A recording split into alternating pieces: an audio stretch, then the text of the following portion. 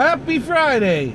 Today I want to talk to you about one of my tricks of dealing with uh, anxiety. As I came up with a friend of mine, and it's one of the greatest quotes I've ever heard, at least to me, with someone with anxiety.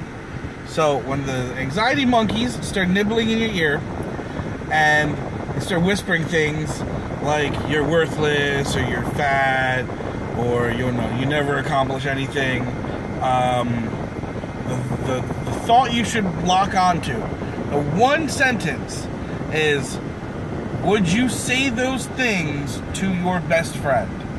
So if, your best friend is sitting in front of you, would you ever, ever just be like, in a non-joking manner, be like, you know, you're worthless, you'll never accomplish your goals, and your face is ugly, and you're fat, and I hate you, and you smell like that, or whatever, you know, the, the anxiety thoughts are. I mean, for me, and for most people that aren't douchebags, the answer is no, you wouldn't. So why would you say it to yourself? You should treat yourself like your own best friend. That's the quote somewhere along the line there. Treat yourself like your own best friend. Don't say something to yourself you wouldn't say to your best friend.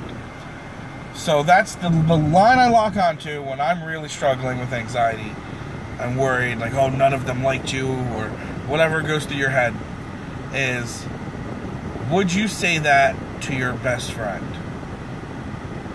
Most of the time, the answer is no. So I hope that helps. It helps me. It's hard to, you know, especially when anxiety and depression are rearing their ugly heads. It's hard to look lock on to something positive, but it's easier if you if you get that one thing, and you pound it into your skull. For me, it's would I say this to my best friend? So, take that as you will. Have a great Friday. Have a great weekend. Have a great life.